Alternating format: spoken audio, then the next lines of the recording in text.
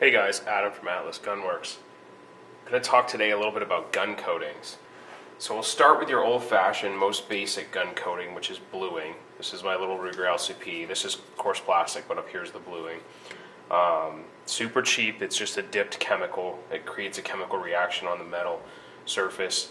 Um, works good for show guns or safe guns, but not guns you're going to carry per se. This is such a cheap gun; it's not probably that big a deal. And I keep oil on it, so it hasn't really started to rust a couple of spots here and there.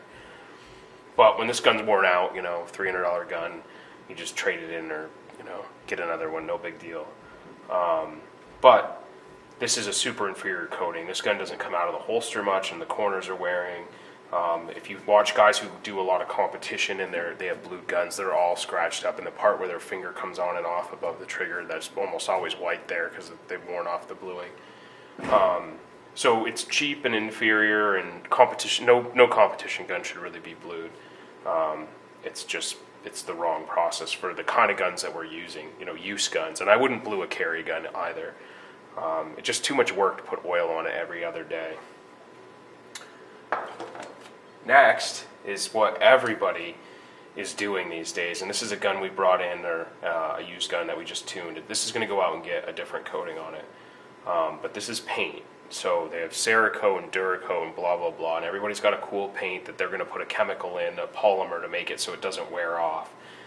And the fact of the matter is, it's still paint. It's applied just like paint to your car. They spray it on, and it's not it's not abrasion resistant. So as it gets, you know, in and out of a holster or laid up on a table or in and out of your range bag, it's going to wear the paint off. It's not made to be touched. You know, you don't touch your car paint when you walk by your car every day because you're going to scratch it off or wear it off.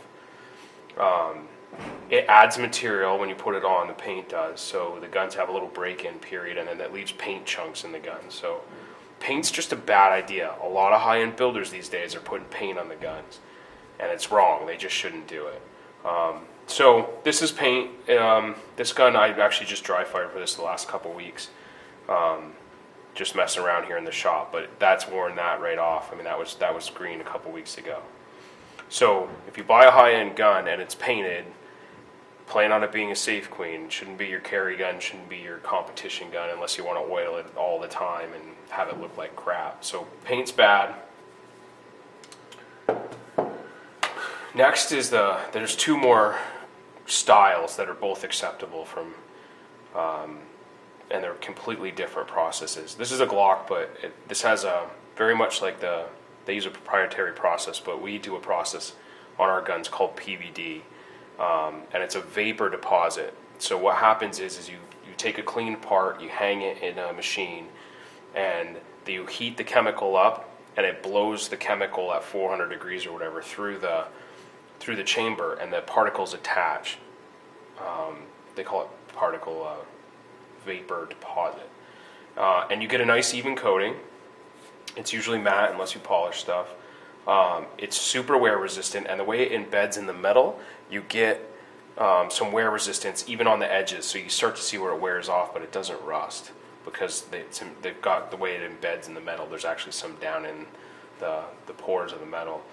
Uh, a whole bunch of color choices, a whole bunch of different hardnesses or whatever. But it's an awesome coating, works great, doesn't add a lot of material. So if you build a really tight gun and you put this on, it's not gonna uh, it's not gonna change the dimensions of your sli- uh, frame to slide fit. So we approve of that. Um, we do it on our guns.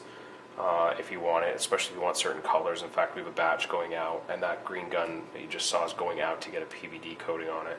I think that one's going to be all black. Uh, it works on stainless too, which is nice. Uh, probably the Cadillac of uh, gun coatings is plating. So this is electroless nickel with Teflon done by Robar. They call theirs NP3. Other companies do it as well. And this is a process where you take a, a clean metal part, you dip them in the in the in a liquid, and you come out and the, it's added material. It's added nickel in this case. Um, hard chrome's done the same way. I like electroless nickel with the Teflon. Um, I like the way it looks. I like the Teflon will make the gun run slicker as the gun wear. The longer you run the gun, so a gun. This is a brand new gun, but a gun with 10,000 rounds will even be slicker than this. um, because the Teflon's coming to the surface as the material wears on the frame rails. Um, it does add a whole bunch of material, um, so the guns can't go in super tight or you won't be able to get them back together. So we actually build guns that go out for this kind of stuff with a little bit extra tolerance in there, and then when they come back, they they won't fit together typically, and we have to hand lap them back on. Um, and you get a nice perfect. I mean, this one, this gun does has zero wiggle. This gun's as tight as they come. Um, on a side note, everybody worries about the frame to slide fit. What really matters is that barrel to slide fit. Barrel to the gun fits what what makes a gun accurate or not accurate.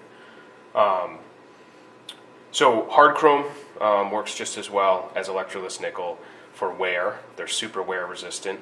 Um, they're abrasion resistant.